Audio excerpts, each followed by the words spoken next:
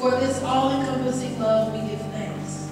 We celebrate the expression of this love through Jesus Christ, and we gather as disciples of the Son who taught us how to love and live by the principles of your kingdom. We ask that your spirit walk among us as we pray, sing, and read the word together this day, aligning our hearts and minds with yours. We ask that this same spirit unite us in and through worship, deepening our resolve to serve you. Yet even as we celebrate your majesty, O God, we are also aware of the disconnect within our hearts and in the world around us. These unresolved stories, these scars and hurts, we also bring to you through Jesus, knowing that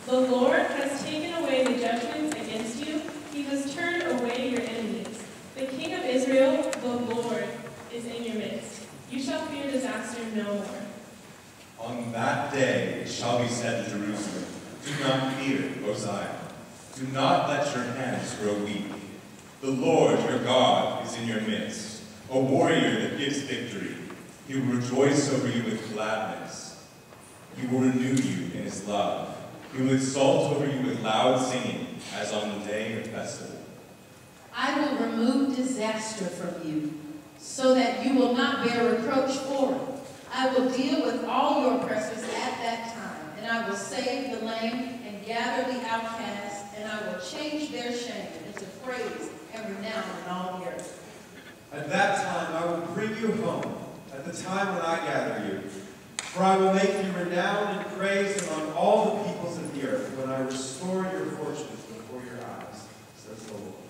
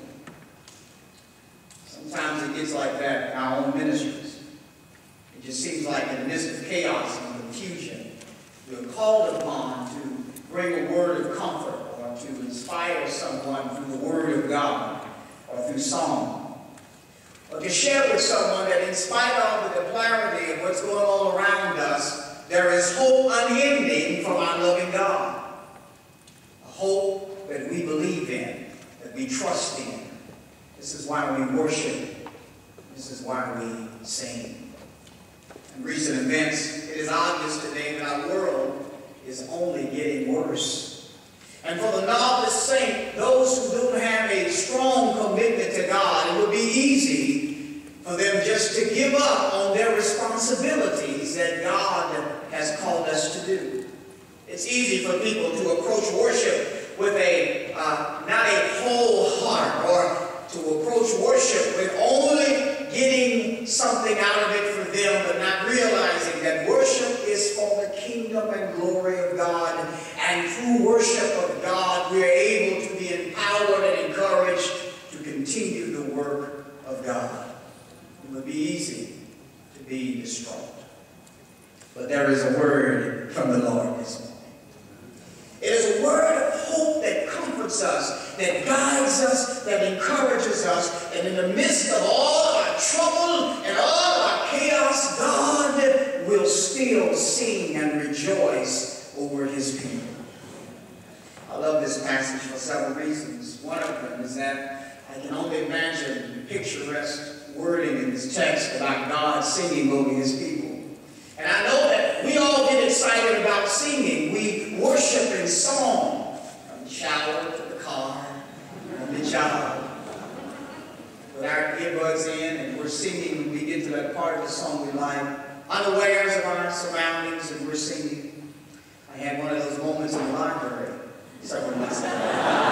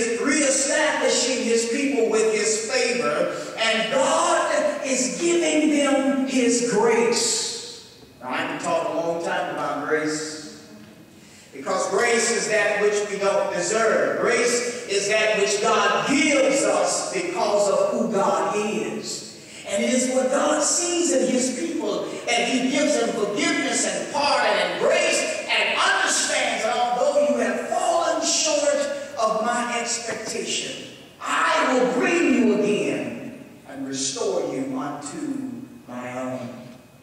It is a protection from your enemies. I love the phrasing in my text where it says, They shall no more see them again.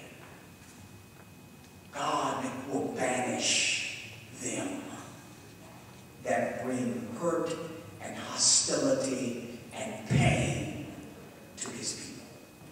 It is a promise that God makes with clarity. It is an opportunity for God to show his people that he knows how to handle every hater. God is calling his people to rejoice through the prophet, but the result of this rejoice, this call, this petition for them to do this is simply that we ought to have a call to respond to what God is doing. And the word says, don't let your hands become weak too slack. I looked at slack as an opportunity for us to explore because it's easy to lose sight of our purpose and our function in worship and our ministries amid all the chaos that's going on around us from meetings and expectations from folks in worship. Sometimes it's the calls of those who need things at pressing moments when we're trying to prepare for what God has called for us to do. And oftentimes our hands become weak because we're carrying so much, trying to do too much. But in this passage, the word I believe is trying to remind the people is that don't have idle hands. Don't get complacent to where you stop doing what God has called for you to do. Slack, lack of activity.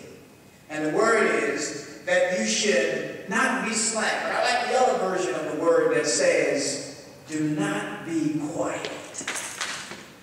Now, when we worship, we worship from our hearts and our minds from our experience with God. And there are some folks who are just a little louder in worship than others. And sometimes people will look and say it doesn't take all of that to worship God. Sometimes people don't know where you're coming from. They don't know what you've experienced and what you have felt. And sometimes our audible expression is a relationship that we're expressing with God, that God saw us, He hears us, and yes, He has saved us. And so occasionally, this word is reminding us that we ought not be quiet, but actively praising God for what God is getting ready to do. This word through this prophet is that you should not be slack. But there are reasons why folks slack or have idle hands or that they're quiet. And it's simply out of fear. Fear, that crippling emotion that causes a person to act out of the normal, recluse, to drive, to call away or crawl away from opportunities. But the prophet says, you need to understand that you should not have any fear. And the reason why we ought not have fear is because God, the Lord God, is in the midst of you and he is mighty. Now, mighty means a power unmatched by any, something that cannot be holden or held with restraint. It is a power that has no end because God is a mighty God, and those that belong to him receive of his favor. The prophet says, God in the midst of thee, he is mighty. God is with us. My heart got happy when I read those words because even though I go through what we go through in this world in times of chaos and confusion, it is God who is with his people. And with God, there is no power on earth that can stop God from moving and causing restoration. It is a revival of the Spirit. It is what we hope for. It is what we expect. It is why we praise. It is why we sing. It is why we worship. When we go to our houses and our praises center, we go because God is with us and nothing in the world can stop us from praising that mighty God. God is mighty. He is with us in the midst of us. But that the prophet says God is in the midst of us, but he also saves us. And I don't know about you all, but I know what salvation is like. I know what it means to be saved because God has his care on his people. He, he has his wonderful care surrounding those who love him. And I really didn't understand that, what it means, until I was uh, walking down the street in my mother's and dad's hometown of Satin, Texas. Anyone around here know what Satin is? Amen. Thank you. Amen. down the street from my grand, grandma's house, grandfather's house, uh, there was a, a, family that had a, a, mean chow dog. It was a, a black chow. That was meanest you would ever. We would avoid that street so that we won't uh, go near uh, that dog. Uh, they kept the dog tied up, but occasionally the dog would get out and wreak terror on all the children on their summer vacation down in, in Saturday. But a few weeks uh, before this particular visit, they had, uh, they had some reports about uh, this dog, and they put this dog on a chain and helped keep this dog secure. And it worked. We would go by, and we'd still be on the other side of the street. and, and the dog would, would snarl and growl. And we would, we would say, Miss Pam, you, you got to keep your dog because that dog is mean. That dog is not going to bother you. And so the summer days went by. Now, one particular day, the dog got loose off the chain. And we just knew we were going to be uh, dog food that day. but something happened that uh, I didn't realize at the time, but as I think about it in ret retrospect, it was God's hands of provision in this. Luckily for us, even though the dog was loose, the dog was conditioned in his mind that he was still chained up. And the dog's chain would go a certain length. And when the dog approached that length of the chain, like clockwork, he would stop in that very spot and would not move an inch further. Because even though he was loose, his mind was still in chains. And that moment of fear that reached over us was insurmountable, but it made sense that God has a way to stop every enemy in their track. He knows how to comfort his people. He knows how to preserve and protect you even in the face of your calamity because it is God who is in control of all things. He saves us. Some of you may have had moments in your life where you can hang your hat on and say, God, I thank you for saving me. If it wasn't for your care and your grace and your mercy, I wouldn't be here today. If it wasn't for your hand of love that preserved me, I would not have made it. If it wasn't for you taking care of all of my enemies, Lord, I wouldn't have a reason to praise and worship you. I thank God that God is in the midst of his people and that he saves his people. He saves them from trouble. He saves them, and it's a full salvation. It's not a partial salvation. It's a full salvation. He takes away all your burdens and your reproaches because God is with his people. The prophet continues, my brothers and sisters. He says that it is God who will restore his people with praise. On this uh, prophecy pronounced, he says he will undo. This is the part I really got excited about. It says in verse 20, 19 rather, that he will undo all of the affliction that was done to this people. Undoing something means to reverse it like it never happened. Now, all of us in here would like to have an ideal world like that. But we all know that memories still exist.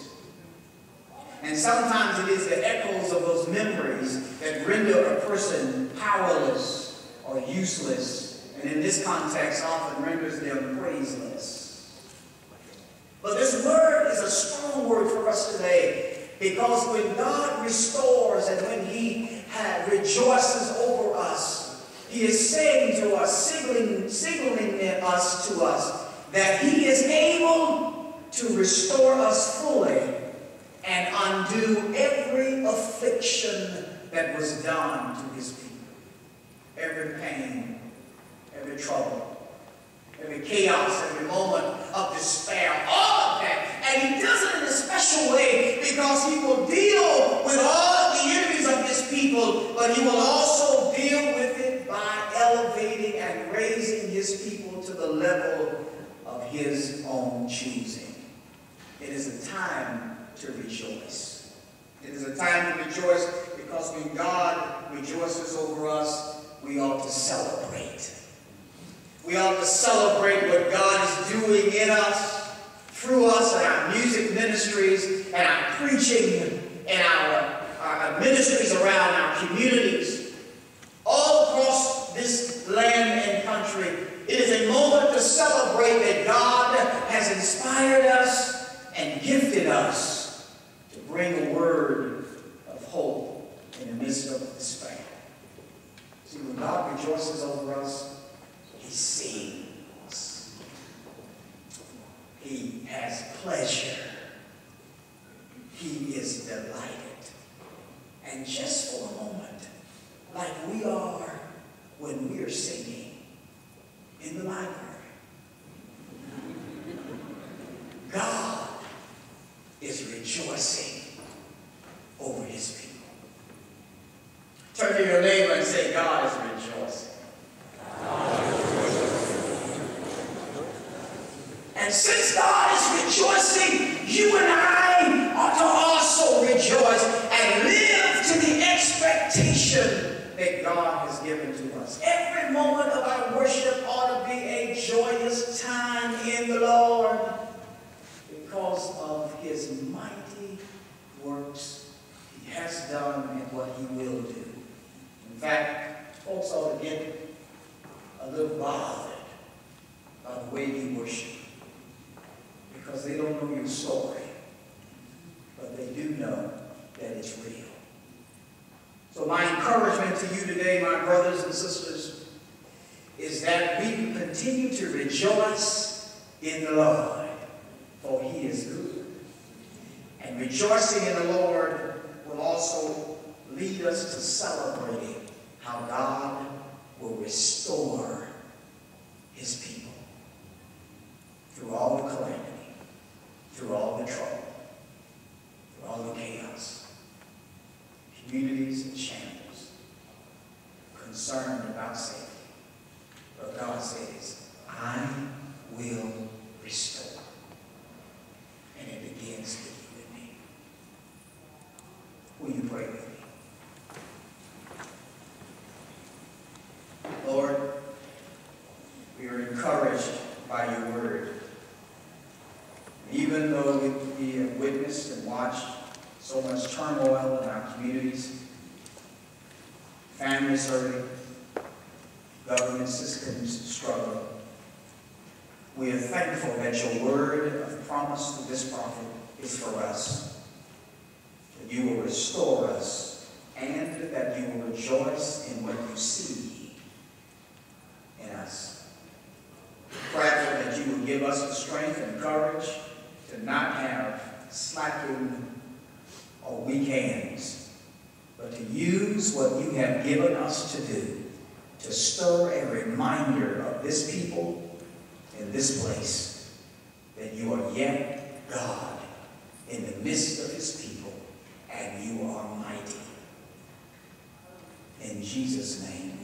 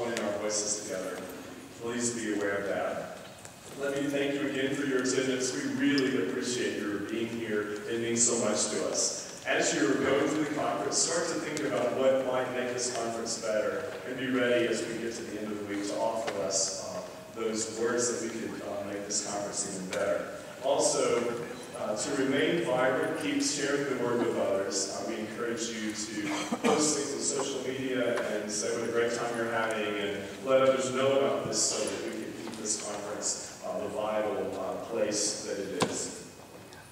The last thing I'd like to ask you to do is, if you didn't fill out your I Dream of a Church cards when you registered, if you haven't done that yet, you can turn those in at the table on the way out. There'll be somebody there to uh, take those and we'll use those as part of worship tomorrow. Let's close our time uh, now with an organism